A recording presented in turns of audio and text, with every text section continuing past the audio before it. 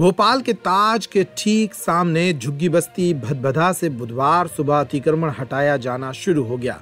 नगर निगम की team bulldozer को लेकर यहाँ पहुँची।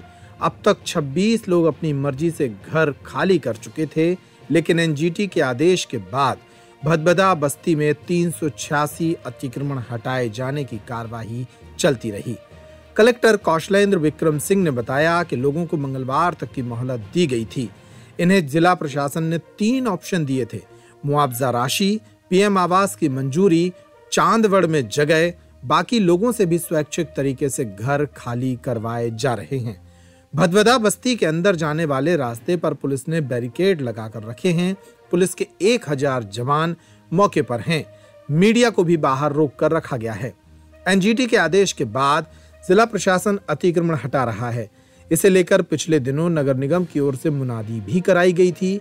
वहीं रहवासियों को अतिक्रमण हटाने के लिए तीन दिन का समय भी दिया गया था। सोमवार को ये अवधि खत्म हो गई। इसी बीच कलेक्टर कौशलेंद्र विक्रम सिंह ने रहवासियों की मीटिंग की और फिर एक दिन की मोहलत और दी थी।